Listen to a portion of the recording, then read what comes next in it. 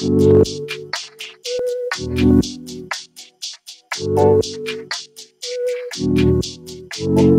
afternoon.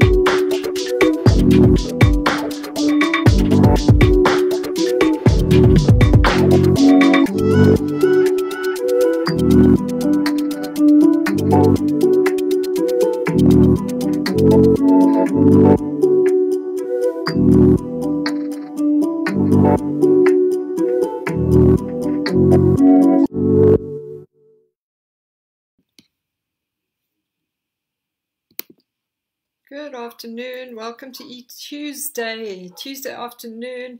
I see Maria Bovens here from Sweden. Welcome to you. Belinda Dohan, welcome to you.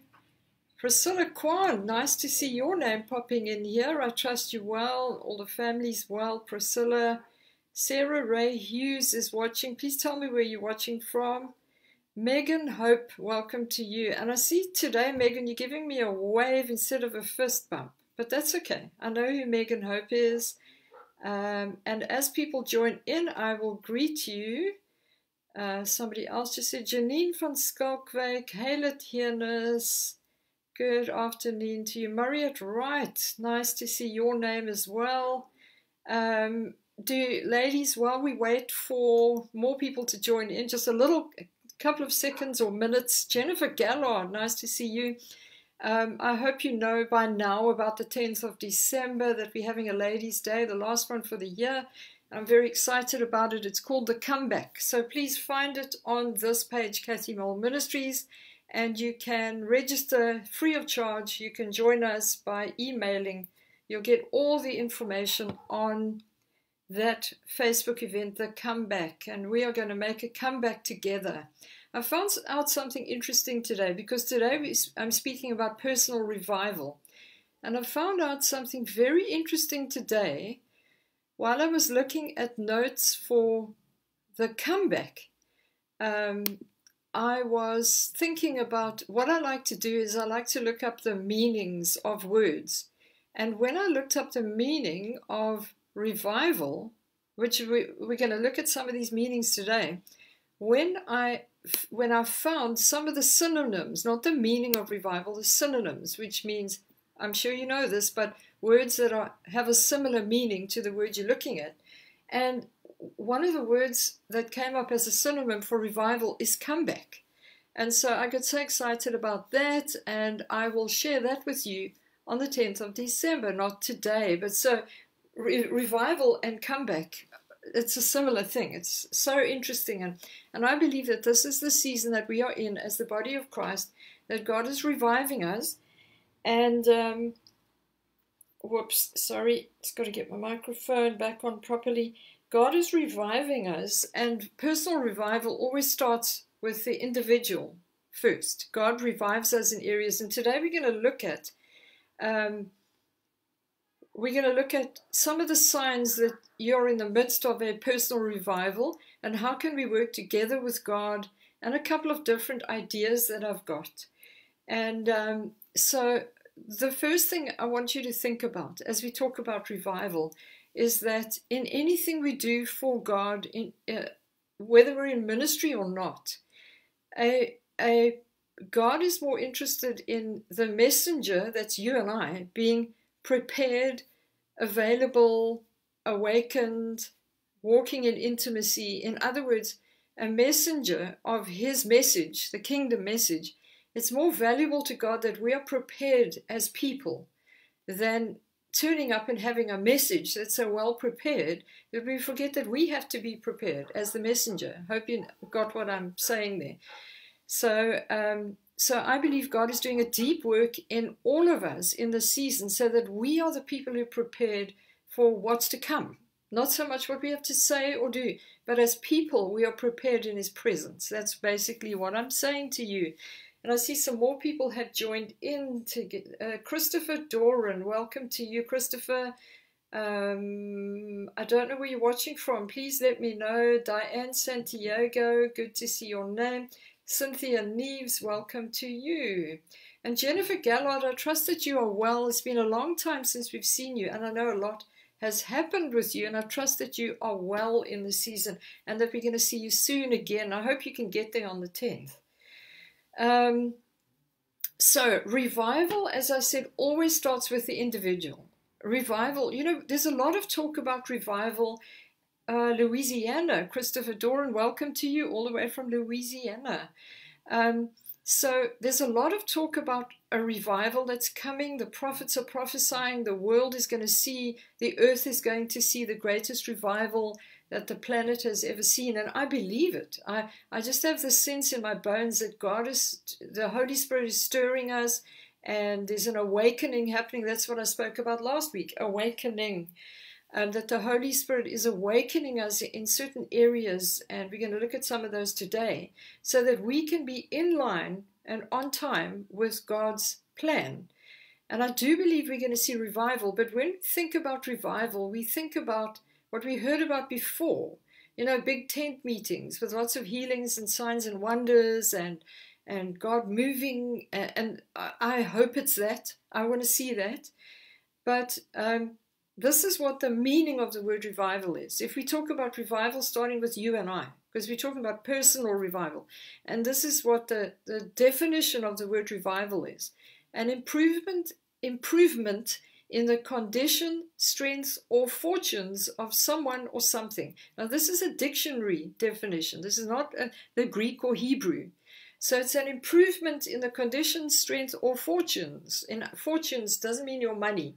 Maybe it does, but the you know I've got a fortune in the bank. Your fortunes means your well-being of someone or something, your welfare or your well-being. It also means an instance of something becoming popular active or important again. Isn't that interesting? Revival. Something becoming popular, active, or important that once was popular, once was active in your life, once was important, and it's going to become important or active again. Now, this is the biblical definition of awakening an awakening in a of revival, an awakening in a church or community of interest and care for matters relating to personal religion. Now, that is the biblical definition. Now, we know that revival in our lives means that God is, He's got His hand on us, He is waking us up to something, He's speaking to us, he's, we're becoming aware of Him and what He's doing. and this is what I believe is happening worldwide in the body of Christ, that we, we are becoming so aware of the importance of His presence, the importance of being Holy Spirit led people, so we can stay on track with what He's doing. Now, the synonyms for revival, the similar words for revival, I already said one of them is comeback, but it also means recovery, restoration, and resurrection. So maybe in your life, for a certain amount of time, you have been feeling that oh, your prayer life's become boring. Your study of the word is just humdrum and dry. You're getting nothing out of it. You don't feel like going to church anymore. There's no excitement. I'm saying for a while. But then something began to change, and there's this this enthusiasm for the things of God again. There's this hunger because and uh, a recognition that we need the presence of God is always the the precursor to revival. When God's people begin to recognize we need the presence of God, we've been going through the motions. And I believe many churches are in this place where, because we've got to the end of the old season and God wants to do something different, we're all saying, God, we something has to change here. We're tired of going through the motions. We need your life. And that is always the precursor to revival because when we get to that place as individuals or churches, and last week I spoke about nations that I saw, I remember as I was speaking online about awakening, that I saw prophetic promises that had been spoken over nations, over decades, and even centuries, and that these prophetic promises were still there with the with the the uh, all the potential for those things to come forth. And the nations were like seed beds you know if you if you are into growing plants and vegetables and things from seeds then you you create the seed bed and you put the seeds in there and you've got to watch over it and water it and, and feed it and then the seeds begin to grow and they become what that this the, the DNA of the seed contains. And I saw this as I was speaking last week about awakening, that all the promises are sitting in the nations, waiting for God's people to get into agreement with those promises where the enemy has come and tried to cover them up with soil, and we're never going to see those things.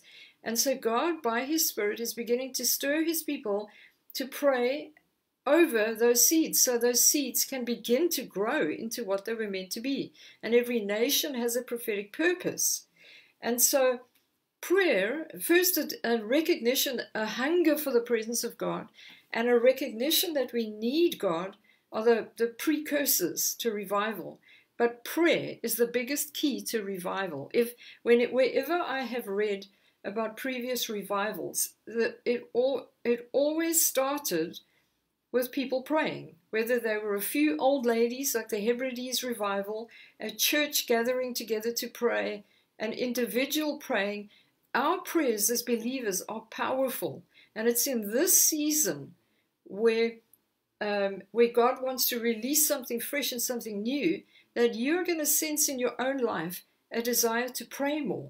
And then you come to God and you say, I know I need to pray more. And it's not the old humdrum prayer life that you used to, because the Spirit of God is breathing on, on our prayers in the season because God wants to do what He promised. So we come to God and we say, God, um, you know, you're going to find yourself praying in, in tongues, in your Holy Spirit heavenly language, praying the mysteries of heaven, the secrets of heaven that, that get straight to the heart of God so God can do something. Because when you pray in your heavenly language, you're praying what the Spirit knows is in the heart of the Father already. And so your prayer life is going to go from, you know, just here and, oh, I'm just going to get by, go to God with my list every day. And you, if you are willing and available and you say, Holy Spirit, come and pray through me, I want to pray revival prayers you're going to recognize that you are praying things on a whole new level. And when we pray according to God's heart, because the Spirit of God is telling us how to pray, then there's the authority, the backing, and we become spiritual snipers. And we, we're praying according to God's will. And then those seeds are going to begin to grow, burst through the soil. So, this is what I felt God said. And this statement I'm going to say to you now is why I'm speaking about this today. And I believe you are these people.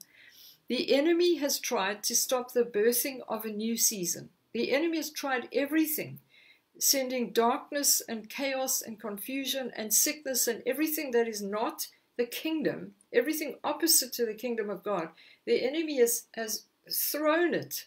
Um, and, and it's because the enemy is trying to stop the birthing of a new season.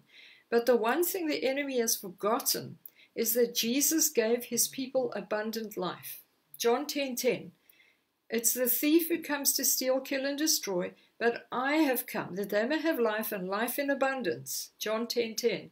And that means the God quality and quantity of life. You know, the kingdom is righteousness, peace, and joy in the Holy Spirit. That's the kingdom of God. And so God wants us to live with a revelation of that's my life righteousness, peace, and joy in the Holy Spirit. And there's a remnant rising up who believe abundant life is ours. Not this, what the enemy's trying to throw at us to stop the birthing of a new season. Because when the enemy keeps throwing at you confusion, discouragement, disappointment, reminding you of past seasons, the hardships, and all of those things, then you're going to forget John 10 10. But there's a remnant rising up who say, We believe that this abundant life is what is our inheritance in Christ. And we are going to live these lives in spite of our circumstances because the kingdom of God is within us. And God wants you and I to be people who, who are going to be people who pray that His kingdom comes to earth, His will on earth as it is in heaven. And He's activating you and I in this season. I really believe it. He's activating his bride in this season to be effective in his kingdom.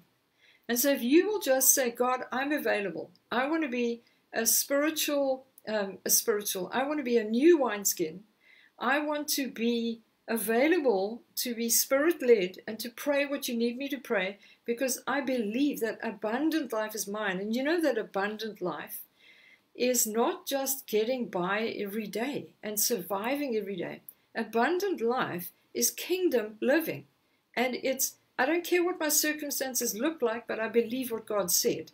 And I have abundant life in the season. Devil, I don't care what what the pictures that you're showing me the what if this doesn't happen the maybe this will fail why why should you trust god it didn't work for you before or for anybody else why are you doing this? And we say, but Jesus came to give us abundant life, and we're going to take that in the season. And this is how we are going to be people who, who, who say, there's revival coming. We're going to get into agreement with what the word that's going out.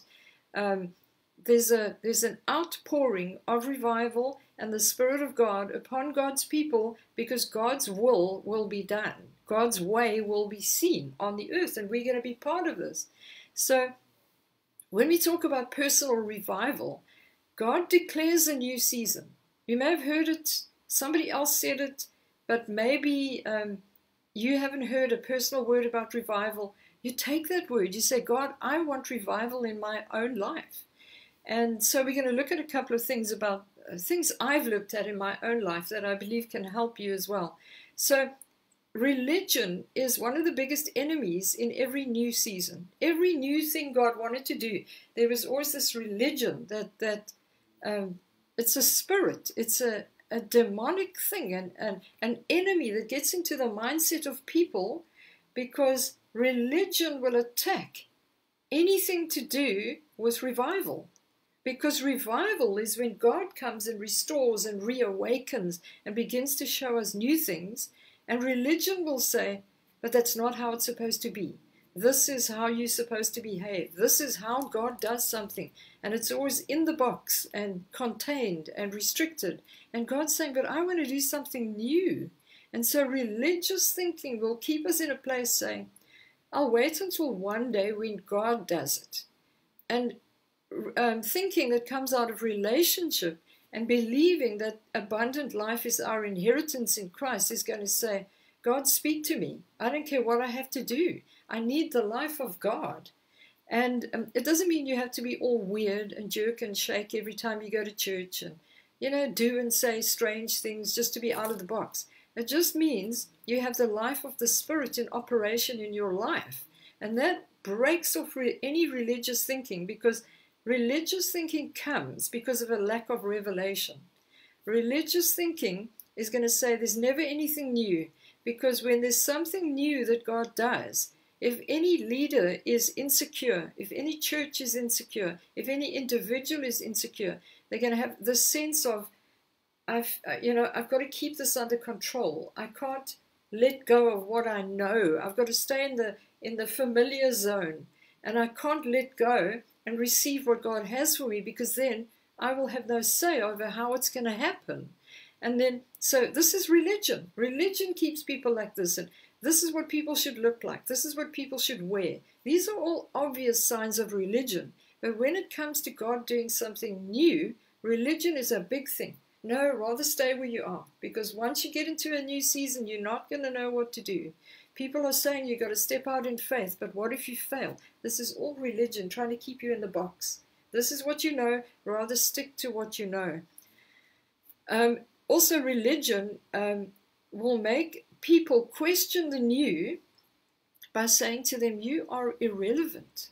This whole sense of being insecure in, in your ministry, yourself as an individual, your calling, your future. And here God says, I'm going to do something new. And there's this sense of, Am I relevant enough to go into the new? Okay, so, so recognize that all of these things are the enemy trying to stop you from stepping into revival in your life. So God declares this new season, but we have to cooperate with the Spirit. And one of the things that, that I feel God does with me regularly is I go back to the beginnings. I go back to, I start to think about, and it's not that I have to stop doing everything I'm doing, it's an attitude of heart. It's giving God time just to remember. And when I do this, I it's like I begin to remember, I recognize the busyness in my life that has crept in and caused a whole lot of clutter around me that I have to remove, and it, it sort of um, presses into my relationship with God, and my life becomes a lot of doing things. And when I recognize this, I always recognize that God has more for me, and the busyness and the distractions are trying to rob me of the more that God has for me. So what I do is I go back to the beginnings and I go back to what I call old school. And there can be no revival unless we, we go back to old school. And when I say old school, now I'm older, probably older than a lot of you watching or listening to me today. Rory and myself, Rory's my husband, if you didn't know, have been in ministry together for over 30 years and um, it's about 33 years this year. And I know it's not a long time. A lot of people have been in ministry for much longer than us, but we've learned a lot. But also, we regularly have to go back and remember the old school. Now, I'm not saying we have to do things the old way, but when I say it's considered old school to go back to the beginnings and remember how I felt when I first got to know the Lord. These are basic things. If you want revival, you've got to be prepared to go back to basics. And so there's a place that I remember, I, of course I remember, because it's a little church where, where I lived with my parents when I was growing up, where I got to know the Lord for the first time, where I got saved. And um, I remember how I felt that night, and I was about 14. I remember because it was I had an encounter with God. And I remember rushing home to tell my parents that I had got saved. I was born again. And, um, you know, I just remember that. And, and also the simplicity of faith that I had in those days. And even maybe, maybe not when I was 14, but even as I got older, when Rory and I went into ministry, the simplicity of faith is so important because over time we begin to just complicate things. And then we get all these strategies and these things we learn from other people and, and, and we need to live in a simplicity of faith that makes our faith powerful because God is not complicated. He's powerful and we walk in in the in the you know the awe and the fear of God. We want to please him, but he's not complicated. And then the other thing is that this childlike expectation that that I had. I would go to God and I would ask for big things. I remember when I was 14 or 15, I said to God, God, I want to go to the nations. And, and I was living at home with my parents, obviously, I was still at school, but I never saw any scope to travel anywhere. I wasn't part of a family that had a whole lot of money, and we would go on these, you know, these trips overseas in the holidays. Our trips were like get all, all of us bundling into my father's car, and we would drive to Paarl. And to me, when I was that age, that was a big thing. We would, I remember my mother would get so excited because we were going away for 10 days and it was like a big excursion. It felt like it took us two hours to get there. Now we jump in the car and we're in Paarl in an, you know, an hour, 45 minutes. But the, the childlike expectation when I would go to God and I would say, God, I, I want to go to the nations. And I know God spoke to me back then. But I had this in my heart. And you know, what happens over time when you become so busy and distracted and you're doing the right stuff. You're fighting the good fight of faith. You're putting on the armor. You're standing, being strong in the Lord, and you're preparing your messages and you're praying, you know, doing all the right stuff. But even in all of that, we lose our childlike faith, the simplicity of faith, and we also we lose the passion of worship. And I'm not talking about going to worship God in church on a Sunday morning. I'm talking about just living a lifestyle of worship that it's all about Him. It's, it's laying down my will and my wants for what He wants for me. That is worship. So in this season, um, and you know, when I say the old school, it's like I, I just remember um, going to church in the early days, and, and, and I'm not saying it doesn't happen now. You know, but, but in the busyness of life and in the fighting the good fight of faith, it's like we lose that simplicity. And so I just remember going to church. I could not wait for Sundays to go to church. I could not wait for Wednesdays to go to the midweek meeting. We would be at the 5:30 a.m. prayer meetings and, and all of those things. And I believe God is going to re-energize resurrect those areas in your life that you know you can recognize that oh, I'm not that passionate about those things anymore. Maybe for you it may be something different. But I've recognized in my life the thing about prayer, the importance for prayer, um, is that when I pray, God listens. And even that becomes a cliche. But it's got to become real in our lives because, as I said last week, and I said just now, Prayer is the key to revival, and God is awakening us. The Holy Spirit is stirring God's people to pray because prayer is what gets things done. We can sit back and say, God knows all about it. God said there's going to be revival, but He needs our cooperation, and we can't make revival happen. We can't make anything happen uh, in these great plans that God has for His church. The only thing we can do is pray. And then as we pray, we begin to see the power because we're totally trusting the Holy Spirit to show us how to pray. So in this season, I believe that it's important that you and I learn to obey the inner promptings of the Spirit of God because the Spirit of God is going to lead you and He's going to show you what to pick up and what to lay down. He's going to show you what to say, where to be, and to recognize where the favor is for you to be in the season because there's a place that God has for you in a season of revival or even preparation for revival. And especially in preparation for revival, there's a place that God has for you, which is where His abundant life is going to be seen. And it's not always going to be struggle and people coming against you and warfare and all of this. You're going to step into a season of abundance so you can be effective for Him in this season. And you can pray effective, fervent prayers. You know, fervent prayers, prayers that reach the boiling point, prayers with passion, uh, prayers of passion. And so we've got to stay in the place that God has for us now, and um, so that we can be in that flow, that's, that stream, that river of favor and abundance, so that we can be effective. So the Holy Spirit is, is going to begin to prompt you and tell you to go somewhere, be somewhere, pray this, read this, watch this, do this. Um, and we have to learn to be obedient to those inner promptings of the Spirit of God. Such an important thing to recognize. When God is saying, stay at home and pray, you stay at home and pray. Uh, don't stay home from work and say, God told me to stay home and pray. I'm not saying that at all. So the Holy Spirit is stirring things in us. And what happens is when we pray, um, the, the word gets activated and then the seeds begin to, to come forth. You know what I'm saying? So here's a scripture that I, um, I posted the other day. It's Leviticus 26, 9 to 12. And it says this For I will look on you, be favorably, and make you fruitful multiply you. This is, this is abundant life. Multiply you and confirm my covenant with you. You shall eat the old harvest and clear out the old because of the new. The new is going to be so great, so amazing, you will want to clear out the old. That's what the scripture's saying. You're going to, you're going to have to eat the old harvest and clear out the old because of the new. And so, in a season where God is stirring us to pray and he's saying there's revival coming. Whatever nation you're watching from, whatever church you belong to, whatever you do in this life, whether it's full time ministry or in marketplace ministry, you're still in full time. But you know what I mean, hopefully. we all called to ministry, but some people are business, some are church leaders, some are whatever you're called to do.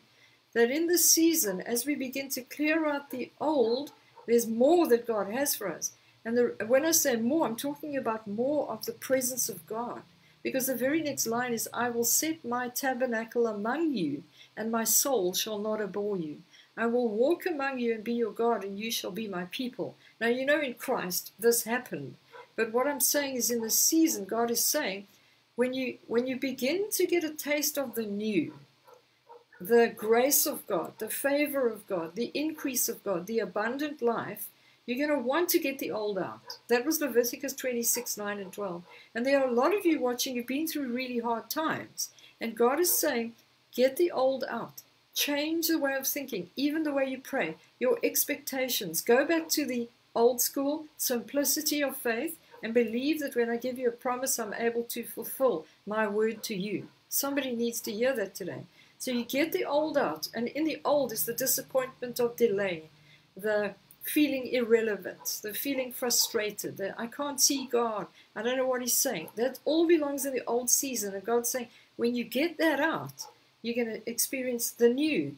And remember, personal revival means God is going to restore, He's going to resurrect, He's going to heal, He's going to revive areas in your life where you lost expectation, where you lost a passion for His ways, and He's going to begin to stir and revive all those things again.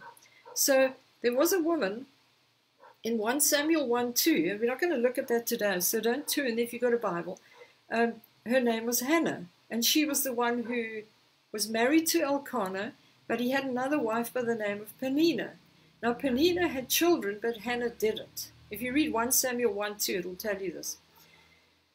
Um, Peninnah had a whole lot of children, but Hannah didn't, and she wanted a child. She wanted a son. And she was the one who went into the temple and prayed. And the priest saw her and thought she had been drinking because she was praying, she was pouring out her heart before the Lord, and only her mouth was moving. And, um, you know, I, I heard the other day, maybe you've all known this already, but to me it was quite a revelation. The name of Hannah, the meaning of the name Hannah is grace. And I feel that in this season, God is giving us the grace to push through the opposition. We're not doing it in our own strength. And you know what Hannah's op- opposition was? The other, the other wife of her husband, who was just giving birth to children all the time, and she kept pointing fingers at her and saying all kinds of things to her. And she, she made her feel terrible about herself, that nothing was ever going to change. And the devil's doing that with a lot of people in the season of revival and saying nothing is going to happen for you. And God by, is going to empower us by His Spirit and give us the grace to come to Him and to pour our hearts out before Him and say, God, I believe you want to give me more than I can see right now. I believe all the promises that you gave me about um, ministry and salvations and healing and breakthrough. I believe all these things and I come to you now and I believe that you're faithful to do it. It's because of His grace on our lives. So, whenever I speak about prayer, I always remember Hannah, how she went into the temple and she was so downcast and so disappointed But she knew if she went before God and she poured out her heart, that there was some hope that God would hear her and her prayer would be answered. And that's exactly what happened. And so there's grace in the season for personal revival. There's grace on your life for the things that you've stopped praying about to go back to God and to say, God, I am coming before you again. I'm going to pick up those prophetic promises that I have. I'm going to start reminding you again. I'm going to start speaking those things again. I'm going to start praying again for my family members who've gone, they've derailed in their faith. And I've been praying for a long time. And here I am again, Lord. And I'm reminding you that you promised me that they would all come into the kingdom. You know, this kind of thing, if you if you're alert to what the Spirit of God is doing, whenever there's a revival, salvations are always involved, obviously. And so pick up those things again. Say, God, make me hungry for your presence. Give me the desire to pray. Um, give me a passion for prayer again and show me what to pray. The quickest way to get your passion back about prayer is to say, Holy Spirit, show me how to pray. Quickest way to personal revival. Holy Spirit, I need you. I'm hungry for the presence of God. Uh, when, whenever I feel as if I'm getting a little bit dry or a little bit, you know, stagnant in my faith, because it's easy to prepare messages to preach to other people, but hearing God for myself, often I, I sit with God and say, God, make me hungry again. And, you know, come and reveal yourself to me again. And when we begin to see who God is again, we see Him through fresh eyes. There's a revival that begins to take place. So this is this is the abundant life that God wants us to live in. I said there's a remnant to, who are rising up who believe that abundant life is ours. It's not this life we hear about and see happening around us out there. It's more than, than we can see now.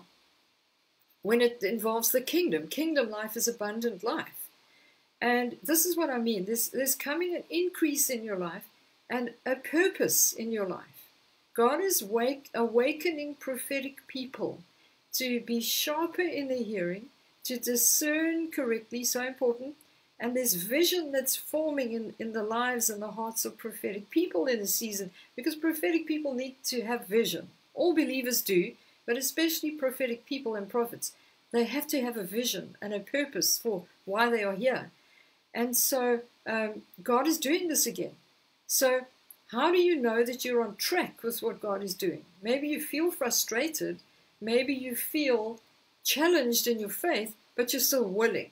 It's a big sign that you you are right where God needs you to be. You still have the challenges. You might still feel a bit overwhelmed, but you're willing to carry on. Okay? The devil hasn't got you down yet. He hasn't beaten you down yet and said, and you've given up and said, I can't do this. And also, you've had a taste of the new. There's something in your spirit that is bubbling up because you've tasted the new. You've seen the increase. You've experienced the favor of God. You've had breakthrough. You've seen deliverance. Maybe you're hearing miracles of healings, and you know this is for you. You're trusting God for healing. And this is just a taste of what's to come. So there's something in your spirit that's come alive again. And recognize that this is you on track for your personal revival. Um, so there, um, let me just read you something. Um, there's there's something about revival in our own lives that nobody can take it away from us. Nobody can come and say, "Oh, you're talking a whole lot of rubbish," because when you're in the midst of a personal revival, you don't care what people say anyway, because you've got that little taste of what's to come. You've had it, you've seen it, you've received it in your spirit. I always say this that breakthrough always happens on the inside before it manifests on the outside in the natural.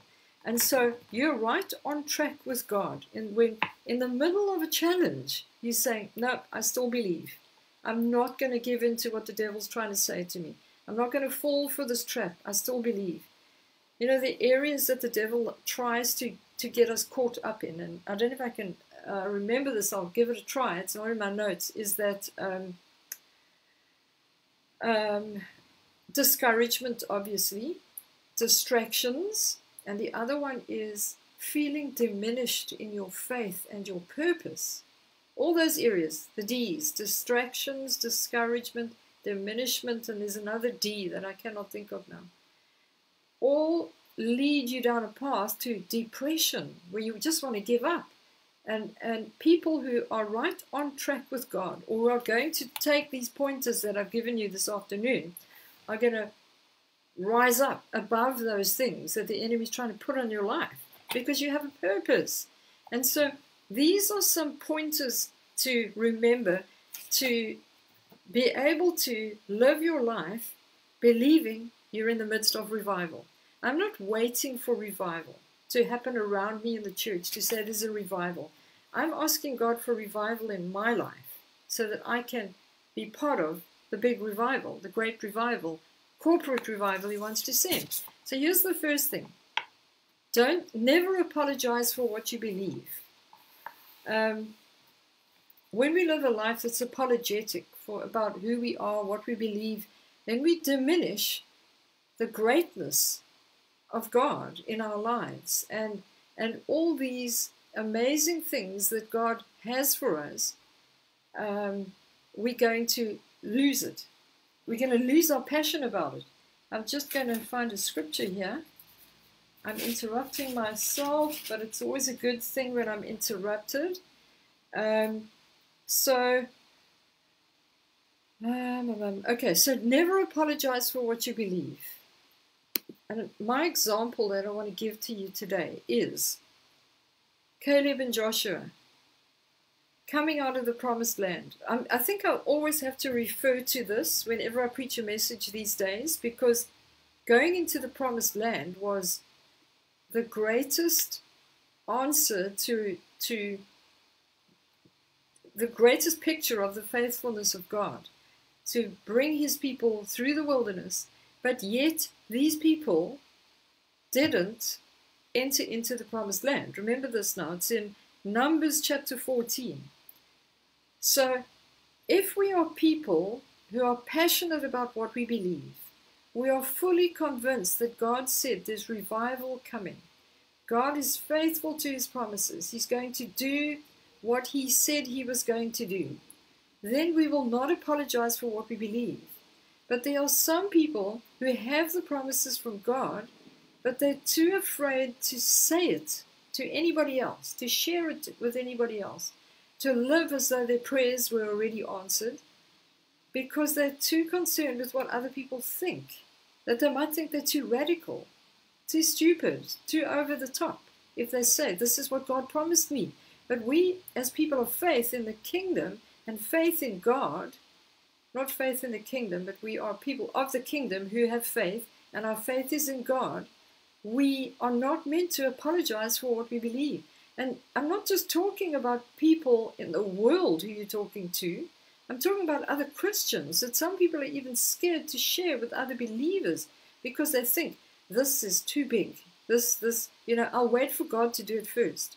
And so here we find the, the, the spies who went into the promised land, they had the promise of God, but when they saw the opposition, they, you know, they came out and they fell apart, apart from, apart from Joshua and Caleb. And it says here, um, the land we passed through to spy out is an exceedingly good land. If the Lord delights in us, then he will bring us into this land and give it to us, a land which flows with milk and honey. Only do not rebel against the Lord, nor fear the people of the land, for they are our bread. Their protection has departed from them, and the Lord is with us. Do not fear them. That was Numbers 14, 16 to 19. So, are we people like Joshua and Caleb who are going to be willing to say what we see in the spiritual realm? I see revival. I see signs and wonders. This is what I see. I don't know about you. Healings, miracles, signs and wonders. And then if I say that this is a season of signs and wonders, there will be one or two Christians who will say, But where are they? I don't see them. We have to get the victory on the inside before we get it on the outside. And when we get the victory on the inside, when we begin to say what God has shown us, this is a time of revival. This is a time of His glory being seen upon His people. There will be people who will laugh at you. And they'll say, Oh, let's wait and see. And then there will be the tendency to sit back and say, okay, I'll wait till God says it and then I'll say it. No. In this season, we have to be people who don't apologize for what we believe. I believe in the goodness of God. I believe in the grace of God. I believe God is going to use believers in ways we don't expect Him to use us. That God is going to be seen upon His church. His glory will be seen upon His church. I believe that because I've got that on the inside.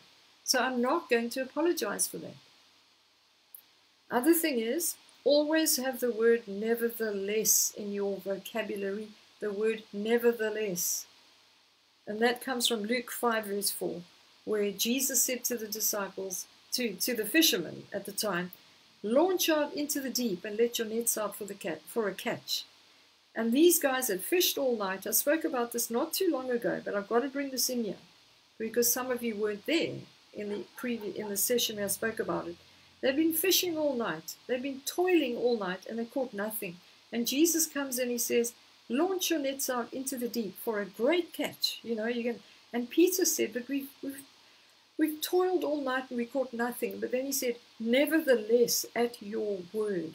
And when he when they did that, he they saw this great catch. They had to call out the, all the other boats and call their partners in, the other boats in, to get this catch in because it was too big just for one fishing boat.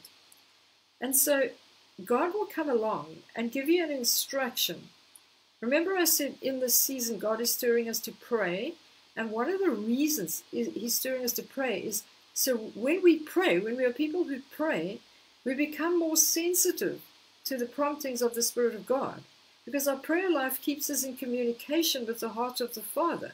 Our prayer life is not just taking our requests to Him, telling Him what we need, or just saying, I love you, Lord, and that's it.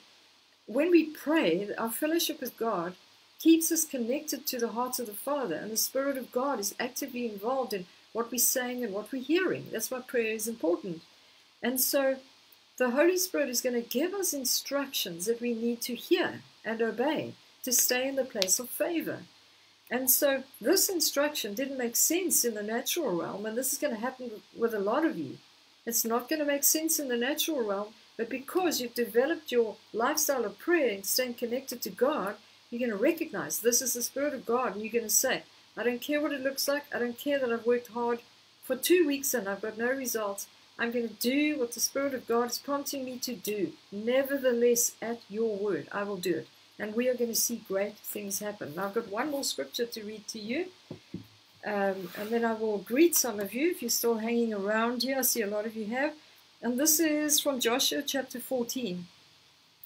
There are many people who feel that they become irrelevant in this season because They've been around for a long time. They've seen God move. They've read the books. They've written the books. They've got the t-shirt and they're wearing it kind of thing.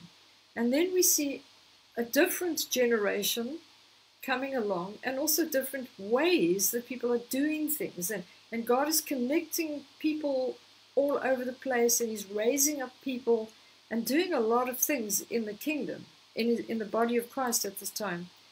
And then the people who feel that they're not relevant anymore may just be in a place where they say, I'm just, you know, I'm too tired now. I've trusted God for so long. If God wants to send revival, then okay. I'll be part of it, but, uh, you know, I'll just have a little part to play. I'll just, you know, sit back and wait for it. And this is not the right time to be thinking that. You know, it's time to retire. I've been doing this thing for 60 years. Not me. Um, it's not time to retire in your faith, to put your faith out to pasture. You know, leave it out there and let everybody else do the stuff because they seem to have the goods. There's something in your life that God sees that is very necessary in the season as we're preparing for revival. This, this is why He wants you to have a personal revival. So you'll be one of these people saying, Yes, I have been around for decades. I have seen God move. It's been a while since I've seen this and heard this, but I'm ready for what's to come now. And this is the language of people who are in the middle of personal revival. They haven't given up. And so here we find Caleb. Joshua 14, um, in, from verse 7, he says, I was 40 years old when Moses, the servant of the Lord, sent me from Kadesh Barnea to spy out the land, and I brought back word to him as it was in my heart. Nevertheless, here's the word nevertheless, My brethren, but a negative nevertheless, my brethren who went up with me made the heart of the people melt, but I wholly followed the Lord my God. And that word holy is not holy, you know, Christians are holy, it means fully. He gave his all to follow the Lord my God, and that's attitude. And now, behold, the Lord has kept me alive as he said these 45 years earlier, which means he's now 85. Ever since the Lord spoke this word to Moses while Israel wandered in the wilderness, and now here I am this day, 85 years old. Now, this has got nothing to do with your age. This doesn't only apply to people who are 85 or even 40 years old. Doesn't matter how old you've been, you are, or how long you've been around in the kingdom. This is an attitude of heart that we need in this season. He says this in verse 11 As yet I am as strong this day as on the day that Moses sent me.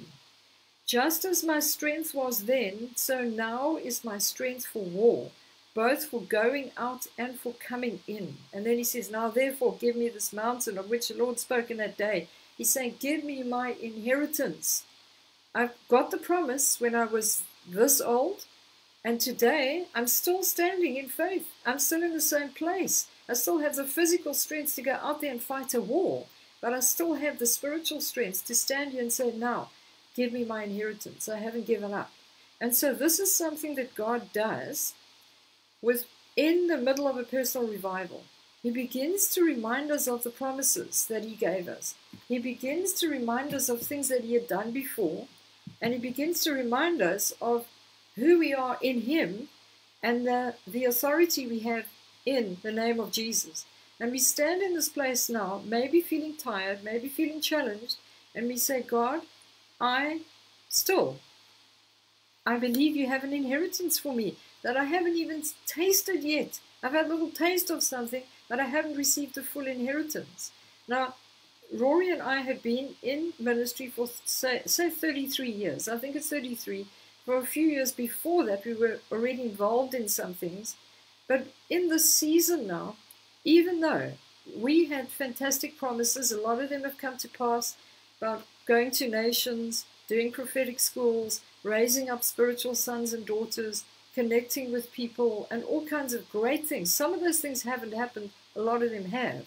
But even though we have all of those things, we still feel as if we're in the starting blocks because we know, both of us know, there's something greater coming. And everything we've been through in these decades has been to prepare us for where God is taking us now. And so don't be sitting back saying, oh, I feel like I'm 185 years old in the spirit because the battles have been so hard. God wants to give you a personal revival so you will be one of these people, the remnant, I call us, saying, God, we're ready for our inheritance. We are ready to take what the ground that you have promised the body of Christ. There's a promised land out there that's called revival, miracles, signs and wonders, breakthrough, restoration, salvations. All of these things are the promised land that you and I have to go and occupy. Every place in which the sole of your foot shall tread, I have given it to you. So this is the Caleb mindset that we need to have.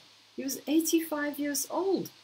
I, you know, I, I know a lot of uh, people in the natural who, my mother is turning 91 in February, and she's still going strong. Struggling a bit with her hearing, still going strong.